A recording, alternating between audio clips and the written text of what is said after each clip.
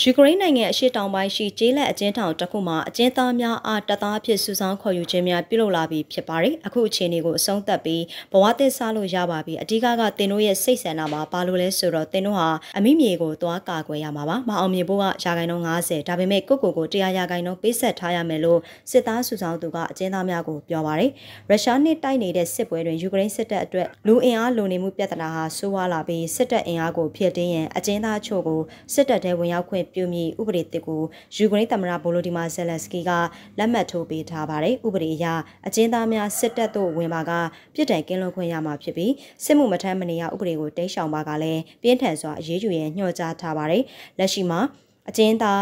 3000ကျော်စစ်ထဲသို့ရောက်နေပြီဖြစ်ပါတယ်။လူတအုပ်နဲ့အထက်ကြိုတင်ကြံစီတက်ခဲ့သူအာရမပြုကျင့်မှုကျူးလွန်သူနိုင်ငံတော်လုံခြုံရေးကိုအန္တရာယ်ပေးသူစတဲ့အကျဉ်းသားများကိုစစ်ထဲသို့ခေါ်ယူမှာမဟုတ်ပါဘူး။